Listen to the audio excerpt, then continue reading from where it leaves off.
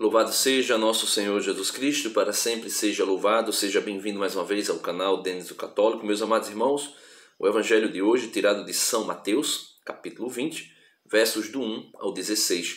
Jesus vai contar a parábola dos trabalhadores da última hora.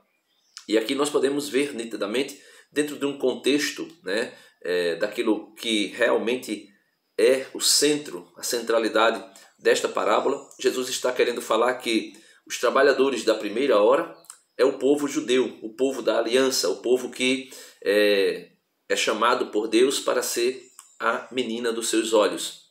E os trabalhadores da última hora são os gentios, os pagãos, os não-judeus, que também são chamados ao reino. E é, Jesus vai deixar muito claro que os trabalhadores da primeira hora, o povo da aliança, né, o povo hebreu, é, se escandaliza ao ver que o reino se expande para os, gentio, os gentios, os pagãos. E Jesus vai dizer: por que vocês estão reclamando? Se o reino é meu, eu chamo quem eu quero. Ou seja, se a, a vinha, se a, a, a plantação é minha, eu chamo quem eu quero para trabalhar. E não importa, aqueles que vieram primeiro, como vocês, que são a primeira aliança, como também aqueles que vieram na segunda aliança, né? os gentios eles receberão o mesmo salário. E eu faço isso porque eu sou detentor do pagamento para aqueles que trabalharem no meu campo, na minha vinha, né, na, minha, na minha plantação. Mas vamos ouvir o Evangelho e aqui eu queria mostrar algo bem interessante. Né? Jesus diz: Porque o reino dos céus é semelhante ao pai de família que saiu de manhã, que saiu de manhã cedo para contratar trabalhadores para sua vinha. Depois de combinar com os trabalhadores um denário por dia, mandou-os para a vinha.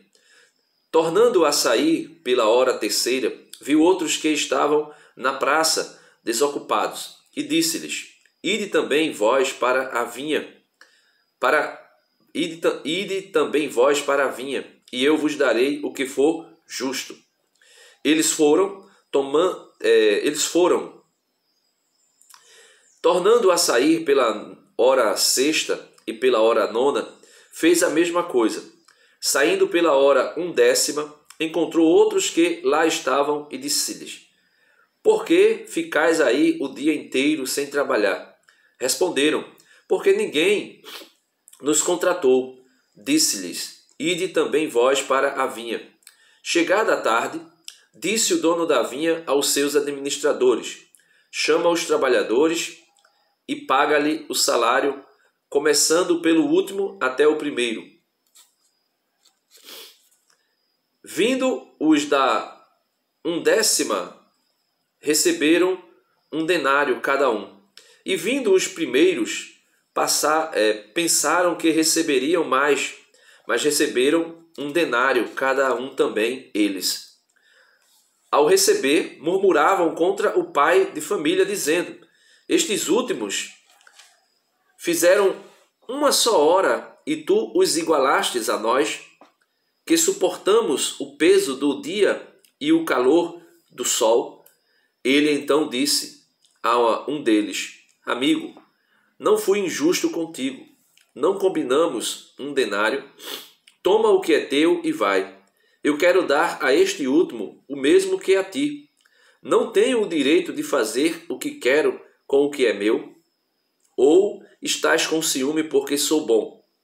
Eis como os últimos serão os primeiros e os primeiros serão os últimos.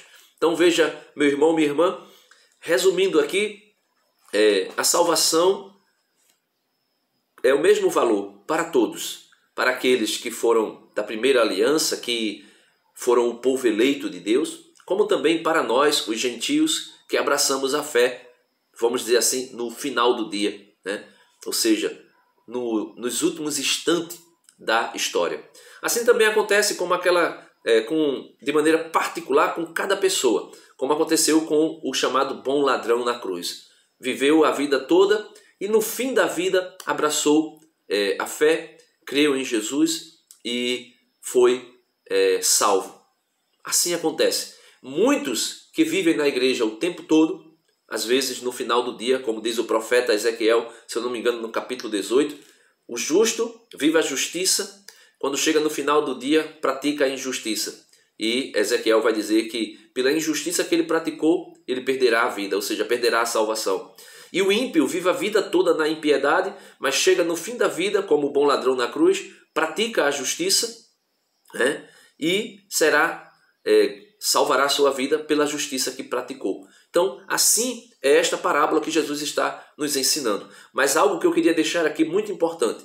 Veja que Jesus chamou para trabalhar. Ou seja, ninguém, ninguém, absolutamente ninguém entrará no reino dos céus sem trabalhar, sem cooperar com o reino dos céus, sem cooperar, cooperar com a sua salvação. Ou seja, quando Jesus chama para trabalhar, aqui já denota de maneira muito clara que todos foram chamados para as boas obras, para as obras de justiça. E é por isso que São Tiago vai dizer, no capítulo 2 de sua carta, versículo 24: Vede, ó homem, como o homem é justificado pelas obras e não somente pela fé. Então nós podemos ver que não é somente pela fé. Deixa eu pegar aqui, carta de São Tiago, capítulo 2, versículo 24. Eu quero retomar isso, porque tem muita gente né, é, no meio da igreja e no meio do é, protestante que vai dizer que não basta, é, não precisa de obra, não precisa trabalhar, não precisa fazer nada, basta crer. Mas veja, é, capítulo 2 de São Tiago, versículo 19, vai dizer: Tu crês que há um só Deus? Ótimo. Lembra-te, porém, que também os demônios creem, mas estremecem. Então, creem, mas não são salvos. Então, não basta somente a fé. No versículo 24, ele vai dizer, São Tiago vai dizer, como o homem é justificado diante de Deus. Vês que o homem é justificado pelas obras e não simplesmente ou somente pela fé. Versículo 26 vai dizer: Com efeito, como o corpo sem o sopro da vida é morto, assim também é morta a fé sem as obras. Então, logo nós podemos ver que na parábola de hoje, Jesus é, mostra, para, mostra para nós que não basta apenas crer. Alguém poderia acreditar lá, ó, vai trabalhar na minha vida, tá me chamando? Tô sim. Ah, tá bom, eu acredito, eu acredito que você está me chamando.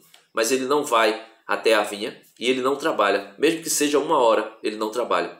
Ele iria receber o salário? Não. Só recebe o salário quem trabalha, quem trabalhou. Ou seja, Jesus deixa muito claro que não basta ouvir o chamado para o trabalho, que não basta ouvir a sua voz, é necessário crer. São Tiago também deixa isso muito claro. Não sejamos meros ouvintes da palavra de Deus, mas praticantes da mesma.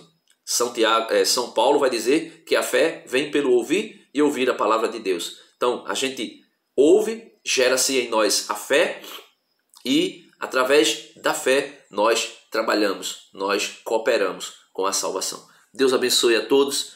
E esse cooperar com a salvação é resposta. Não é que o homem tenha méritos próprios, né? no sentido de que é, Pelágio dizia que o homem se salvaria pelas obras que praticasse, as obras de justiça. Tão somente. Ao contrário, nós só conseguimos trabalhar porque o Senhor gera em nós a, a, a fé e também gerando a fé, gera em nós também a capacidade de fazer as boas obras. Deus abençoe.